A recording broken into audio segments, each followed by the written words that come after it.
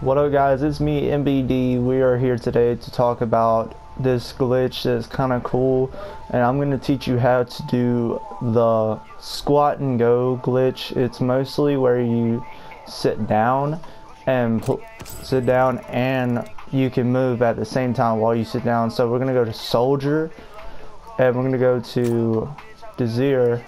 I don't know how to say it. I'm really sorry. We're going to go to emotes and you're gonna have sit this right here as your sit as the bottom button to press sit. So we're gonna go back to headquarters. So right here this is we're gonna do it. This is what we're gonna do it.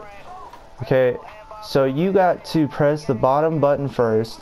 And at that you got to pre press your L3 up and press uh, circle at the same time like hold circle for two like two seconds so it's gonna be like this and then and take it might take you a long time but it will you will get it at the most of the time. So I hope you guys get it and this is how we do it.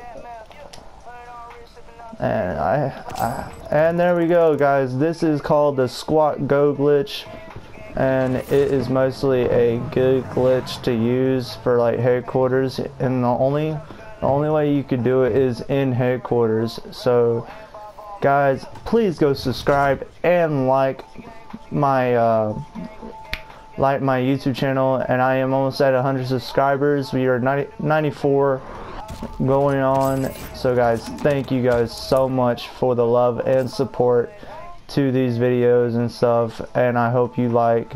And peace out and this has been another vlog with NBD Shots and the Never Back Down clan, all our members out there. So peace out.